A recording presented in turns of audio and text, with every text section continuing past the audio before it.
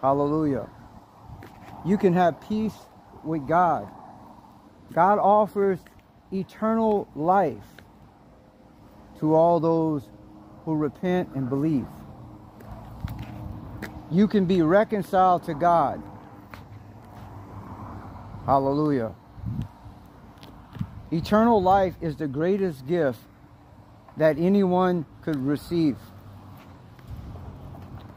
But sinful men, they have an appetite for deceit. They boast in their arrogance. They say there is no God. And there is a reckoning coming. Hallelujah. The Bible says men love darkness and they hate the light because their deeds are evil.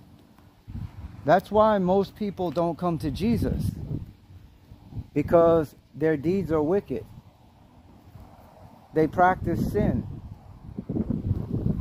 They love their sin, therefore, they shake their fists at God's only begotten Son, Jesus. They blaspheme his name.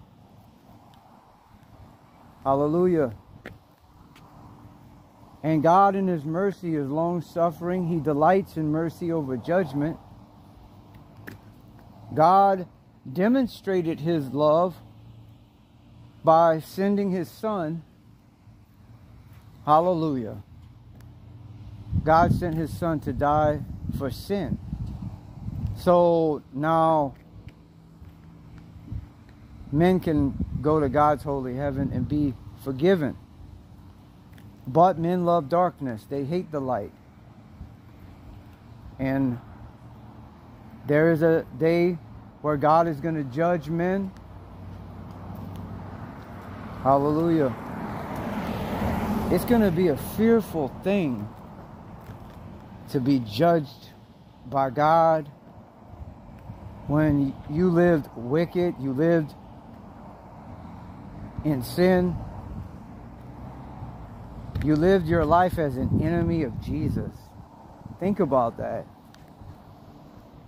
All your life you chased after sin, you boast in your pride, in your arrogance against God, and then at the end of your life, you stand before that God that you have denied.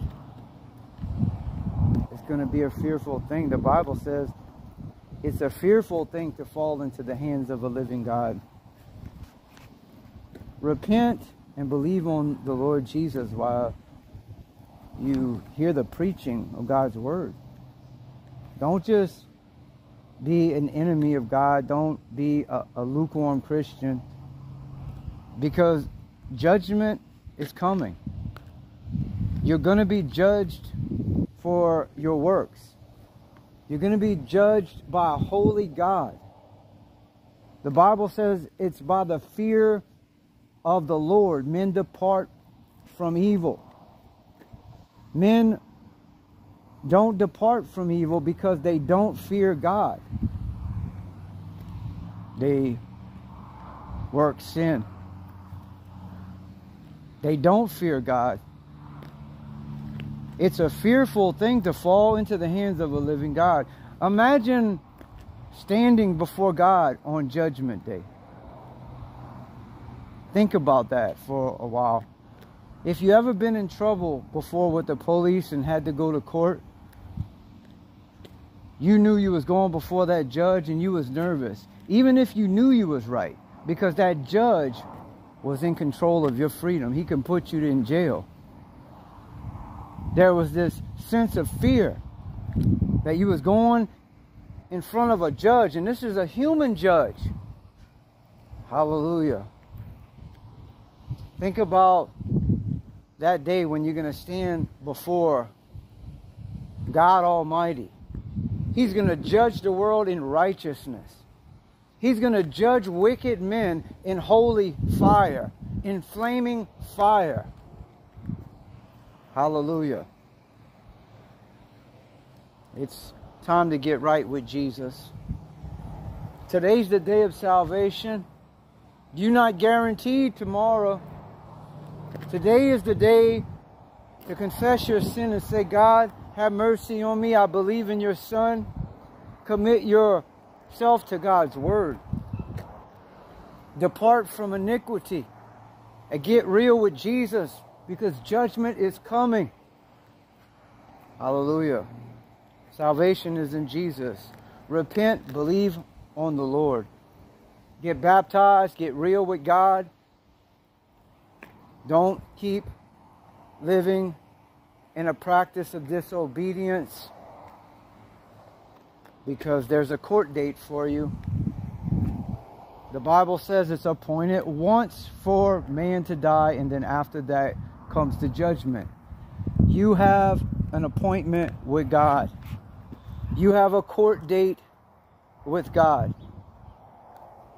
You can run today, but death is coming. You can't run from that day of death. It comes to all of us. And when you breathe your last breath, your day of running from God is over with. Don't be judged by God and go to the fire. While you're alive, get right with Jesus. God is real. His Bible is real. God is good. God is good to those who humble themselves. The Bible says, humble yourself in the sight of the Lord and he will lift you up. Humble yourself. Get real with God. Repent and believe on the Lord. In Jesus' mighty name.